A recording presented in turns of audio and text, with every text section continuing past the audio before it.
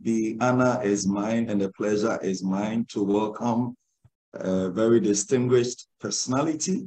She's an HR specialist, um, done over 20 years of international experience doing work in many different countries across the globe. And she comes on this show with a rich experience, a psychosocial aspect, and uh, for holistic mental health, you can be rest assured. When it comes to temperament analysis, you can be rest assured. She will deliver and give you a profile that you'll never forget. I've had that privilege, and so I can speak to that for you.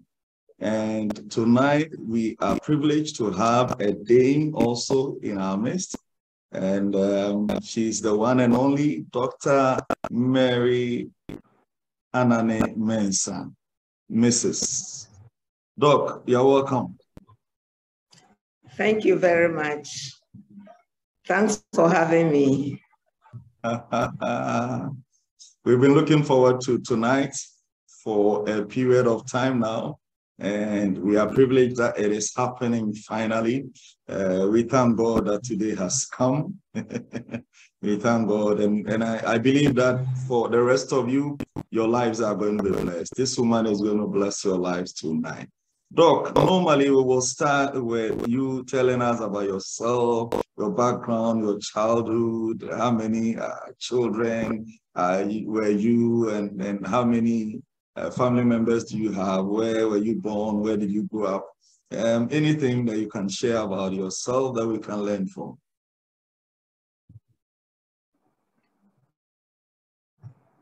Okay, thank you very much. Good evening to all our viewers.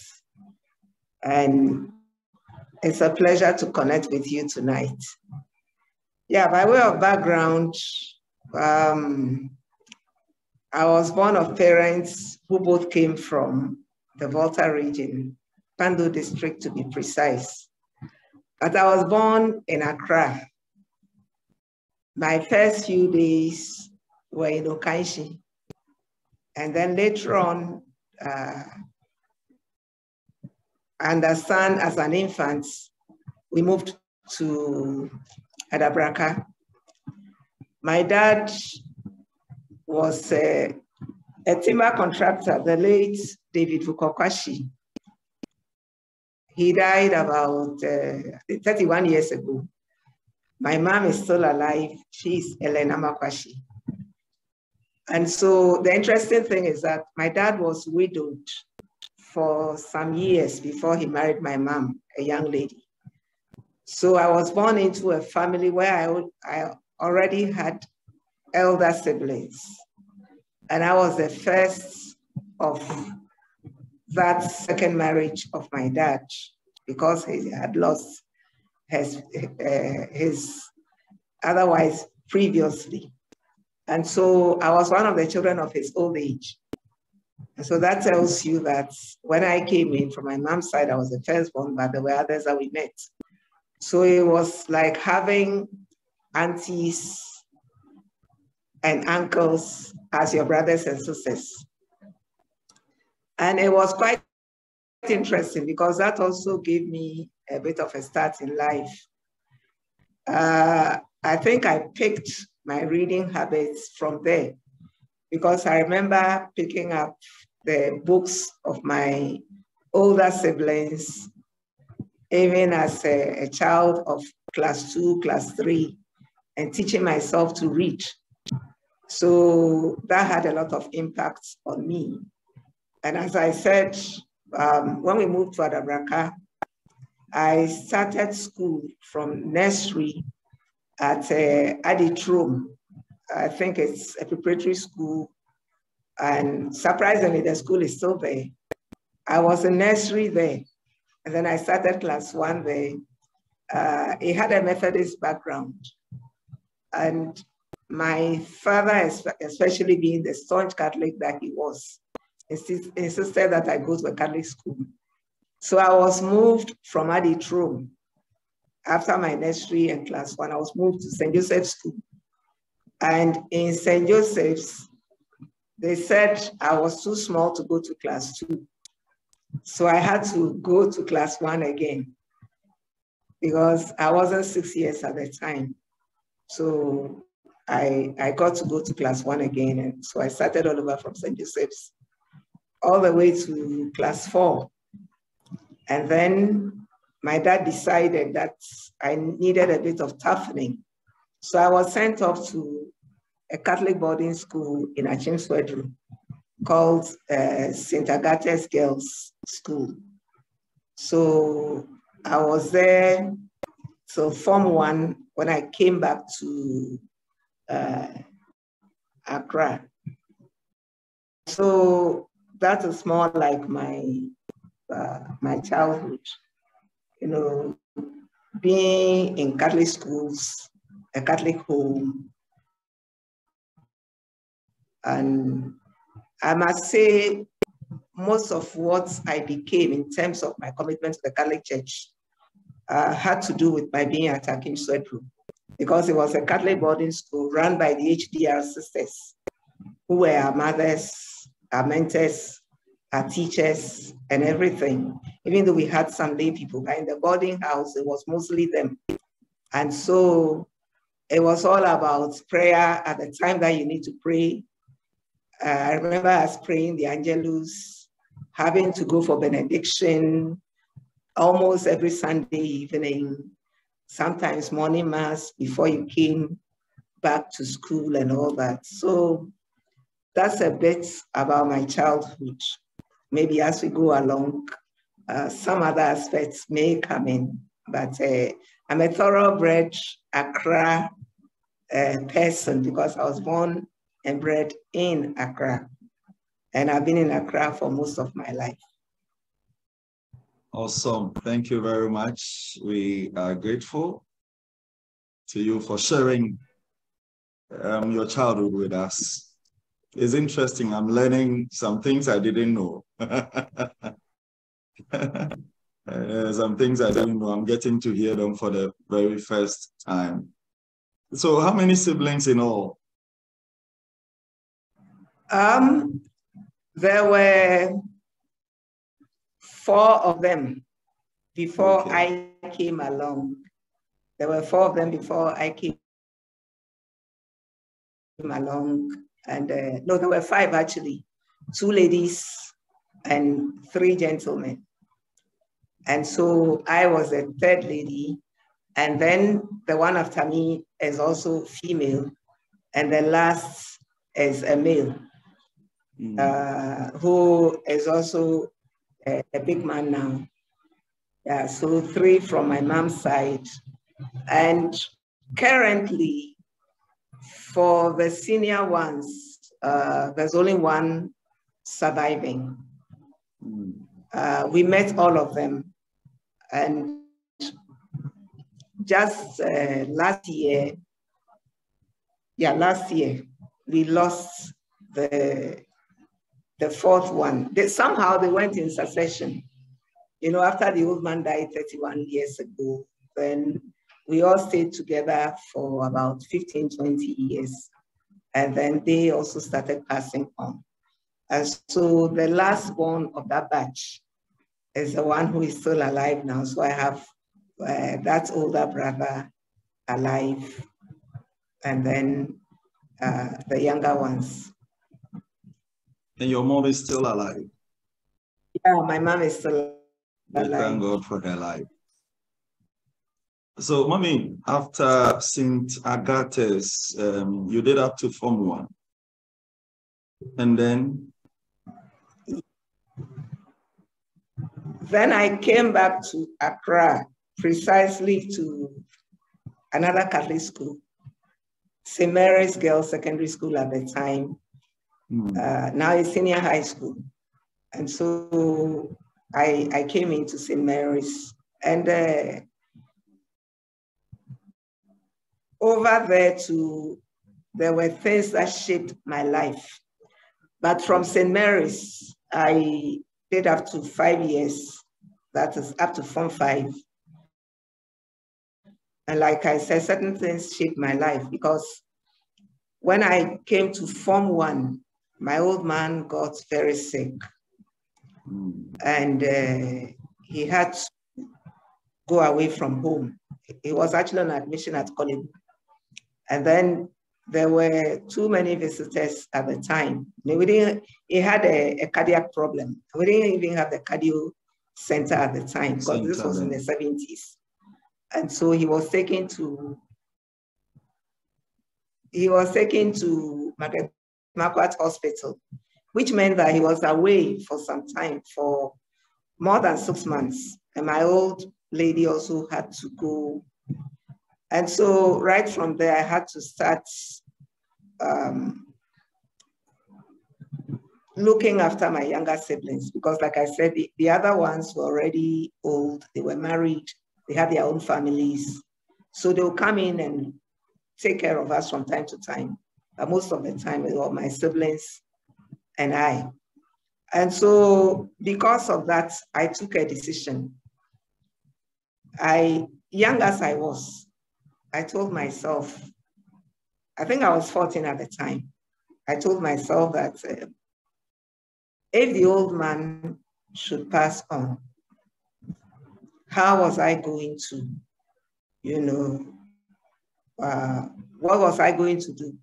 Because all my life, he had been the one to look up to for everything.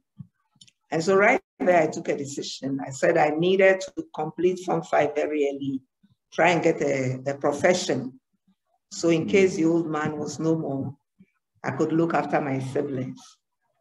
And because of that, I decided not to fail a sixth form card because I didn't want to be tempted since I was bent on getting a profession as early as possible. And so from St. Mary's, I went to another Catholic school, Holy Child College of Education, where I was trained in uh, foods and nutrition education and uh, home economics. And so if you are wondering why my being particular about food and all that came from, that's where it came from. And so for three years, I was trained in foods and nutrition education. And from there, I started work. So by age 21, I had already started work as a, a teacher in home economics. And I actually uh, set up the first home economics uh, department at Sacred Heart School in Debbie Avenue. Young as I was, I was a pioneer home economics teacher uh, there for the junior secondary school at the time. And then shortly after that, I mean, when we got married in uh, 1984, my husband was in Niger at the time. And so I had to join him there after teaching about uh, three years. I had to join my husband in the Republic of Niger. So still quite young, I joined him in the Republic of Niger where I taught English language in a secondary school and added aspects of home economics in the French-speaking country. So we lived outside Ghana in Niger for four years. So I came home in 1988 to visit my parents and I realized that uh, the old man didn't look too good. And so when I went back, I told my husband that we needed to come back home because of the way I saw the old man. So we came back in 1989. Um, and by the grace of God, I was able to devote the next two years in helping my mom to take care of him. And so he passed on in 1991, uh, in April 1991. So from there, then I decided to go and do administration. And I went to this uh, manifold uh, college to do bilingual administration because by then I had become interested in French as a language, even though I had done some course in Alliance Française uh, before going to Niger. My being in Niger for four years actually exposed me a lot to the French language. So I came to do the bilingual administration after the old man passed on. And uh, from there, I, I switched from teaching to work in some consultancy firms. Uh, the first consultancy firm, I it was more of a, a management consultancy firm. So I had a stint there. And then from there,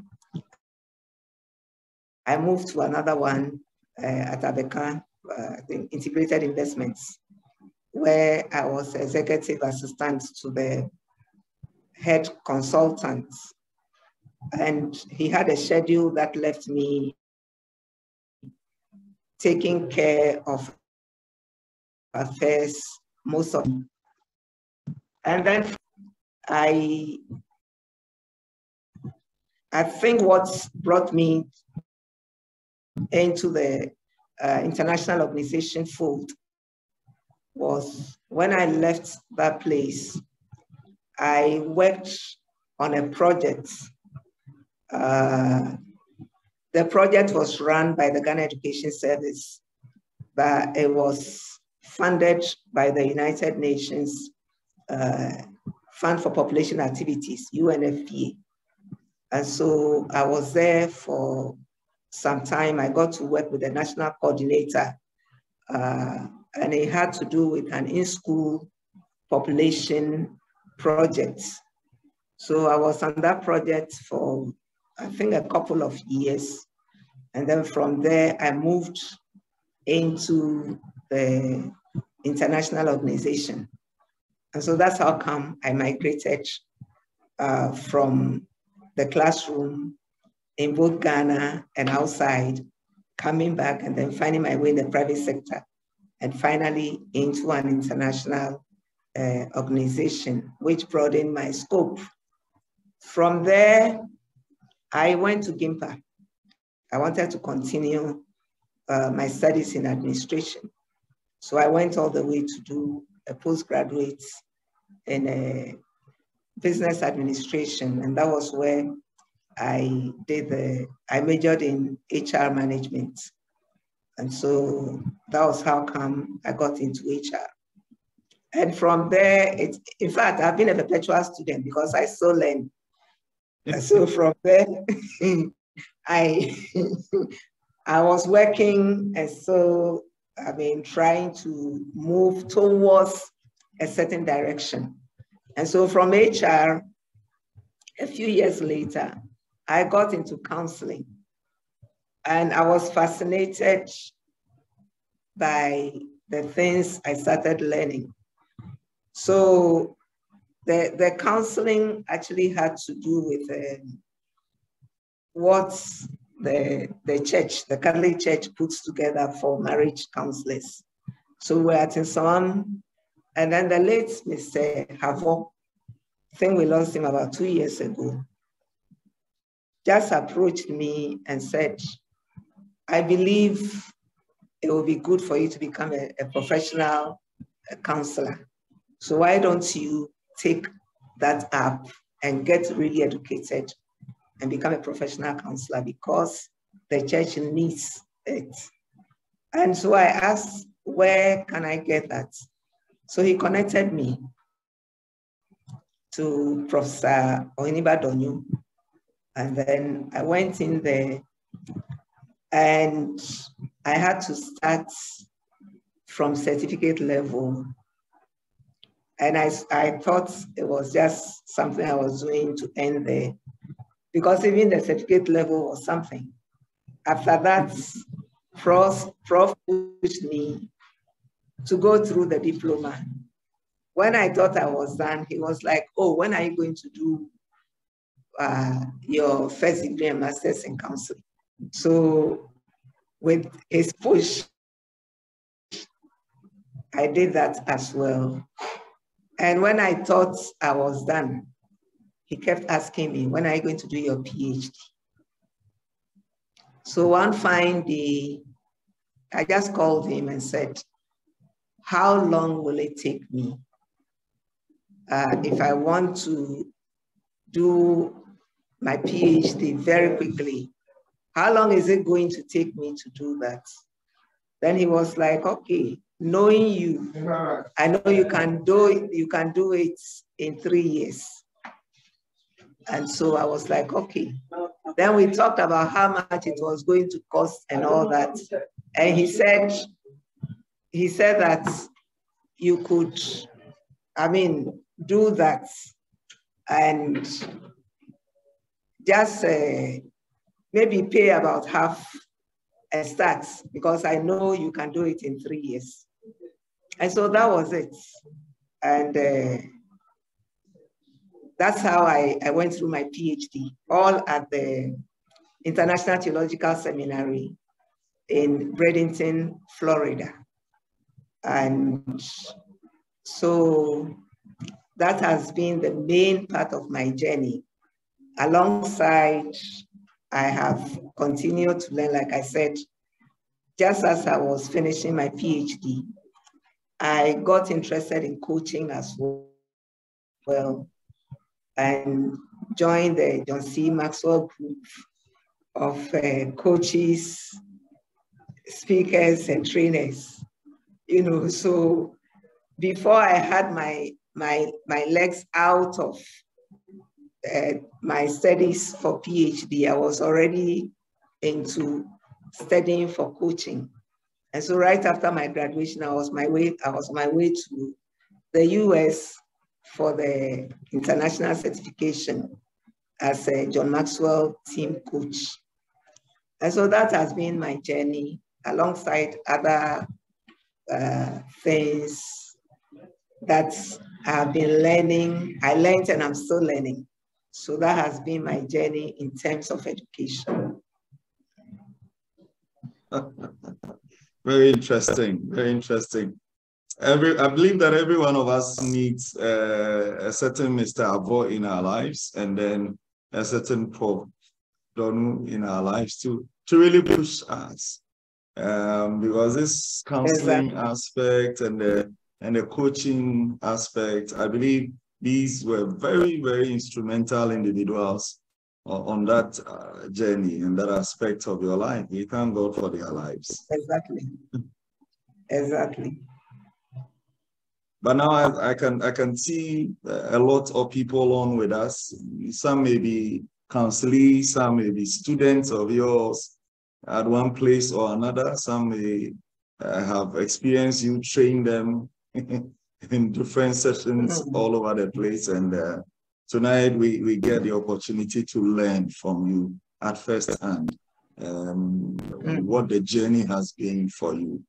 And as I as I look at the list of places and the learnings that you have done, uh, that's interesting. All the way from Editrom to uh, John Maxwell certification.